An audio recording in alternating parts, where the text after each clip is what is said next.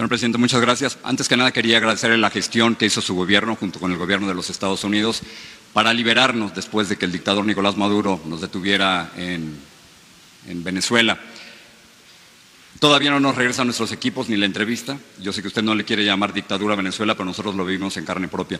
Pero estoy aquí no para hablar de Venezuela, sino para hablar de México y le tengo dos preguntas. La primera es que a nivel de criminalidad las cosas no han cambiado en México, señor presidente. Durante sus primeros tres meses asesinaron a 8.524 mexicanos. Si continúan las cifras igual, el 2019 va a ser el año más sangriento y violento en la historia moderna de México Qué bueno que trajo a, miembros de la futura Guardia Nacional. Veo demasiados militares para una Guardia Civil, pero qué bueno que los trajo, porque para que ellos den resultados faltan muchos años. Así que la pregunta es, ¿qué va a hacer a corto plazo para que no maten a tantos mexicanos y para que México no siga siendo uno de los países más peligrosos del mundo para ejercer el periodismo? Eh, entre paréntesis, eh, no ayuda que usted desacredite a los periodistas, señor presidente, o que pida que un medio revele sus fuentes, eso es un ataque a la libertad de prensa. Si usted hubiera dado a conocer la carta al, rey de España, Reforma no hubiera tenido que filtrar o buscar fuentes confidenciales. Pero la pregunta central es, ¿qué hacer para que ahora no maten a tantos mexicanos? Estamos trabajando todos los días, Jorge, como nunca. Este, antes eh, los presidentes no se levantaban temprano para atender el principal problema que es el de la inseguridad y de la violencia. Yo desde que tomé posición, todos los días, de lunes a viernes, tengo una reunión con el Gabinete de Seguridad. Todos los días, de 6 de la mañana a 7 de la mañana. Y yo personalmente recibo el parte, el reporte de lo que sucede en todo el país, de los delitos que se cometen en todo el país. No había, porque esto no se dice, ni siquiera una estadística confiable diaria de los delitos cometidos en el país. Los presidentes no se hacían cargo de este tema, delegaban solamente que se presentara un asunto grave y desgraciadamente pues eso era casi del diario, le pasaban al presidente en turno una tarjeta para informarle. Ahora ya no es así heredamos. Muy violento, señor presidente. Ese es el problema, que si sigue así, el 2019 va a ser terrible. Sí. El peor año que recordemos. Sí, este, em, hemos eh, controlado la situación, según eh, nuestros eh, datos. Los datos que yo tengo dicen otra cosa, no están controlando, al contrario, siguen muriendo muchos mexicanos. Sí, este, nos dejaron un país con mucha violencia, porque eh, había impunidad y mucha corrupción, que ya no hay. Aparte de atender el asunto. Impunidad sigue habiendo, los feminicidios, los asesinatos a seis periodistas durante su gobierno.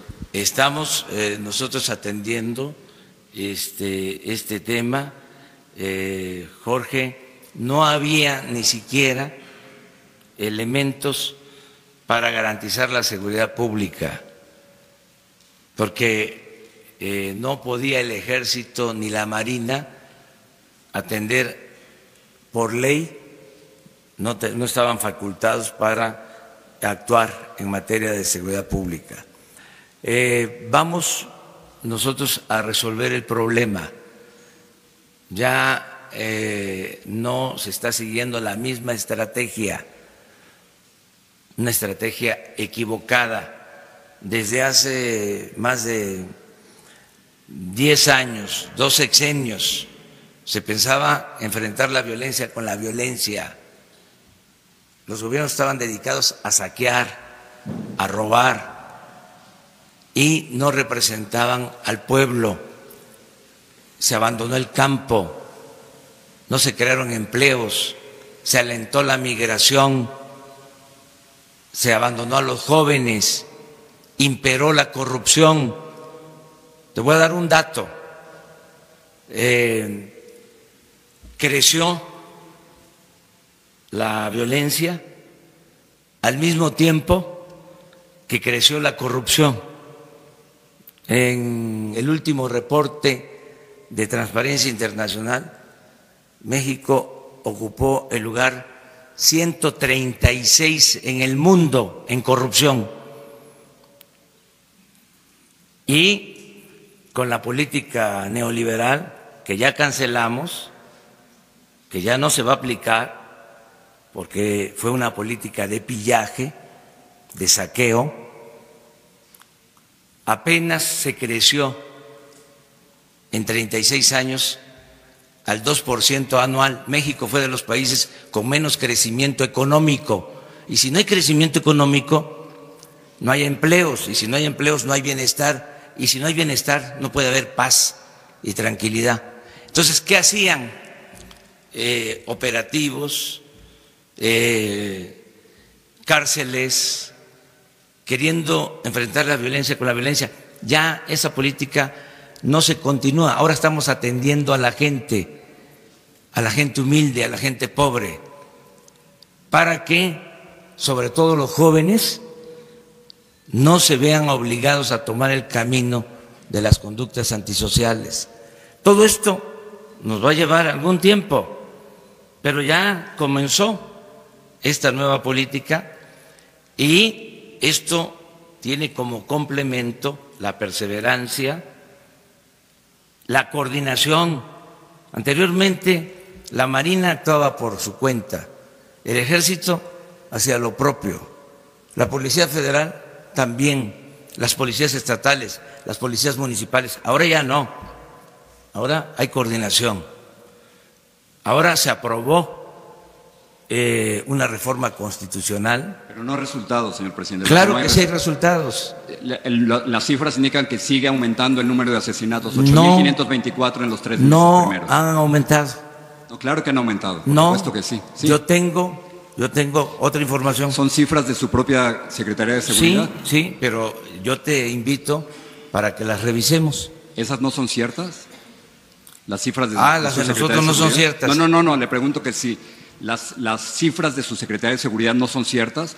Dicen que murieron 8.524 mexicanos en vamos, los primeros tres Vamos meses. viéndolas, vamos viéndolas. Yo no te voy a decir, porque no me gusta este, decir mentiras. A ver, ¿por qué no pones la gráfica del promedio diario? Sí, pero no es, no es cuestión, de, promedio, espérame, espérame, no es cuestión de promedio diario, es cuestión de cuántos mexicanos han muerto ah, sí, durante claro, los no, primeros no, tres no, meses. no. Y este eh, Yo traigo mis fuentes aquí. En dos sexenios, en dos sexenios, eh, perdieron la vida desde que un presidente declaró la guerra al narcotráfico y le pegó un garrotazo a lo tonto al avispero, alrededor de 250 mil mexicanos. Sí, pero yo digo de su gobierno. En, Sí, diciembre, en diciembre murieron 2.875, en enero murieron 2.853 mexicanos, en febrero murieron 2.796 y sigue así va a ser el más Ahí violento de, de la historia moderna de México. Ahí está, mira ese recuadro. A ver si coincide con tus datos. No sé cuántos, no, no alcanzo a leer desde aquí. A ver, yo te digo. Vamos a acercarnos a ver.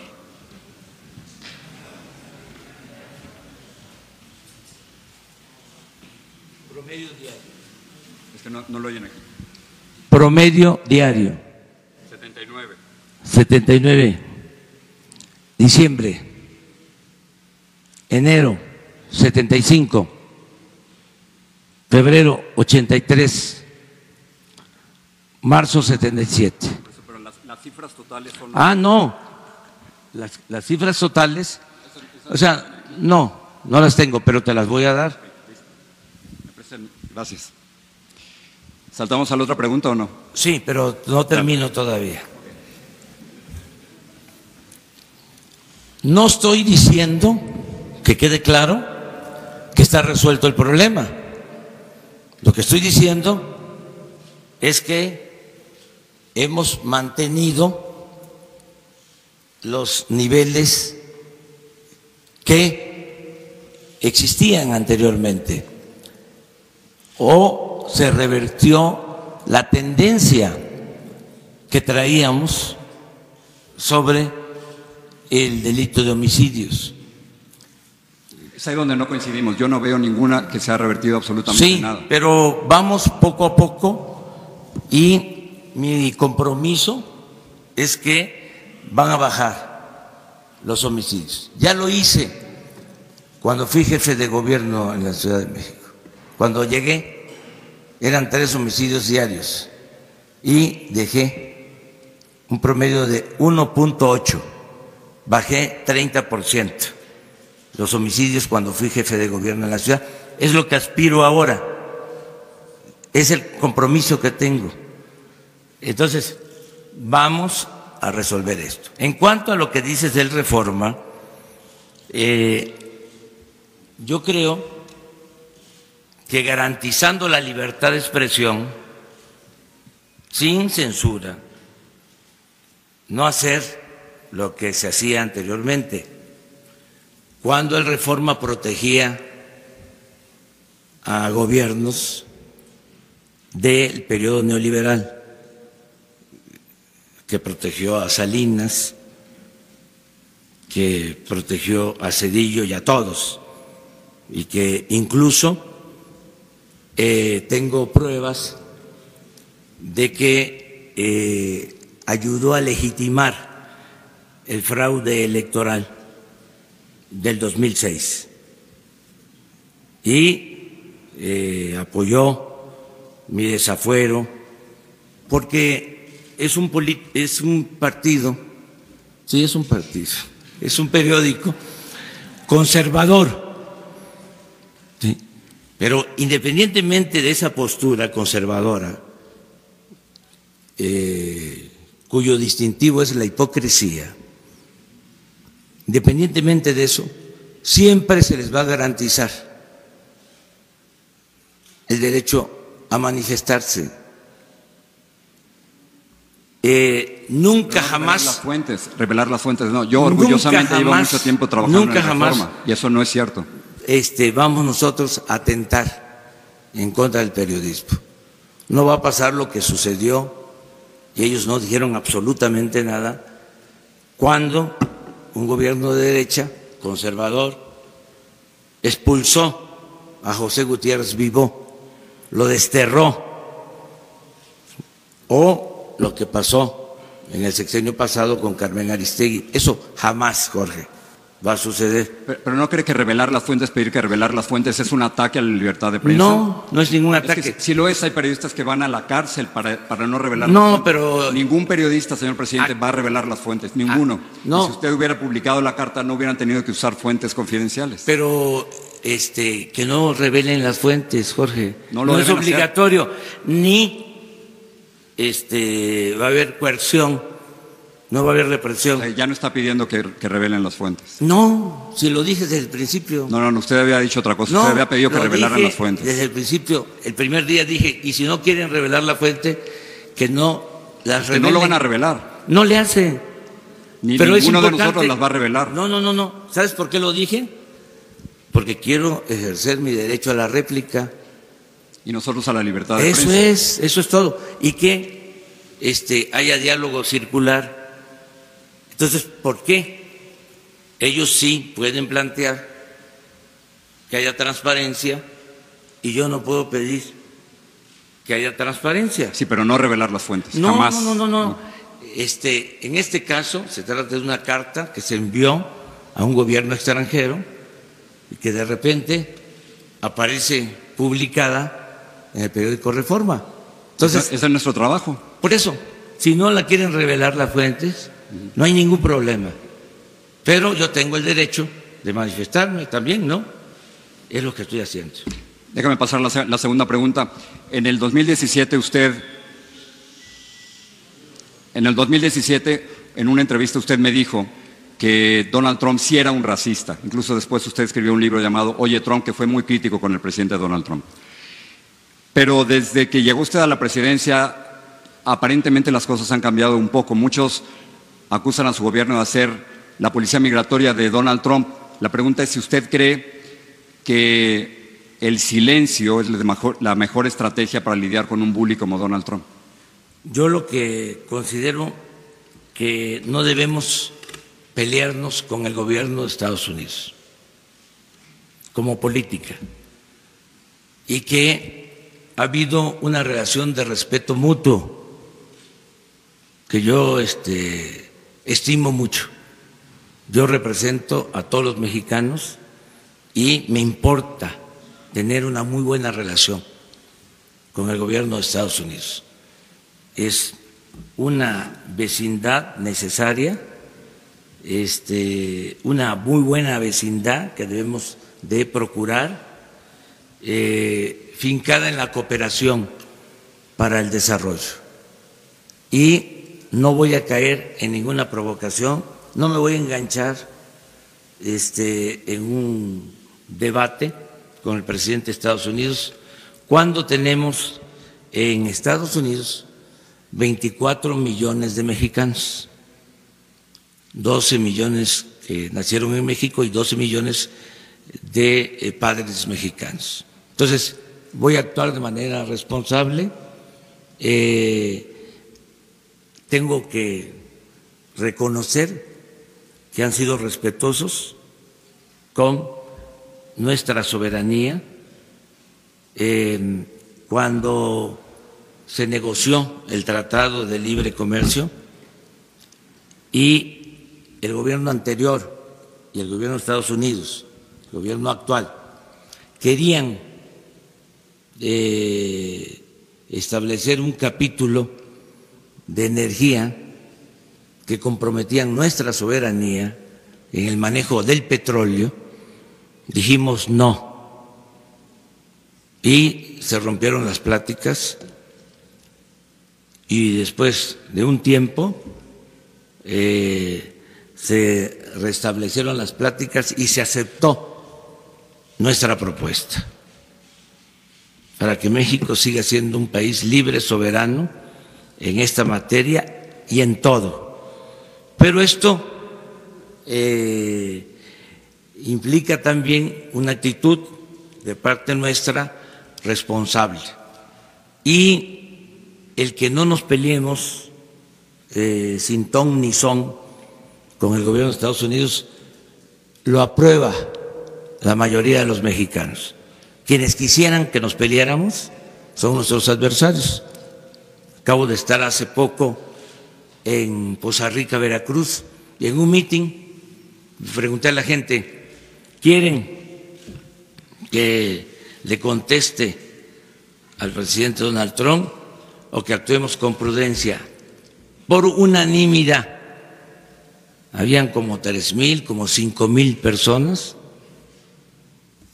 todos levantaron la mano para decir prudencia. Y esos son mis asesores. Yo escucho mucho a la gente todos los días, eh, porque muchas veces los expertos se equivocan. Eh, y se equivocan, entre otras cosas, porque no recogen los sentimientos de la gente, eh, teorizan demasiado o tienen prejuicios ideológicos. Lo que hay en el fondo, Jorge, en México y en otras partes, que además no debe por qué considerarse un defecto o algo que afecte a la vida pública, lo que hay en el fondo es que son posturas distintas. O sea, ya no hablemos de capitalismo, socialismo, de fascismo, de neoliberalismo.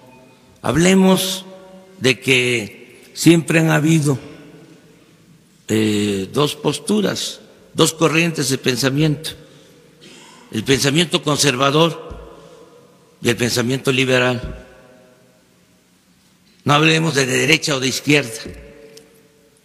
hay en México eh, un partido, no formal, real, que es el Partido Conservador. Y existe afortunadamente un partido liberal. Entonces, los del Reforma y otros grupos con todo su derecho pertenecen al Partido Conservador. En apariencia se presentan como liberales, pero no lo son. Entonces, sí tenemos esta discrepancia, pero es bueno el debate, eh, la pluralidad, el que podamos ventilar estas cosas. Esto es la democracia. En las dictaduras es un pensamiento único. No se puede expresar nada. Se limita la libertad o todas las libertades. La democracia es esto que estamos haciendo ahora. O sea que podemos discrepar, pero nos respetamos y esto es sano para la vida pública del país y nos da muchísimo gusto que estés tú aquí. Gracias.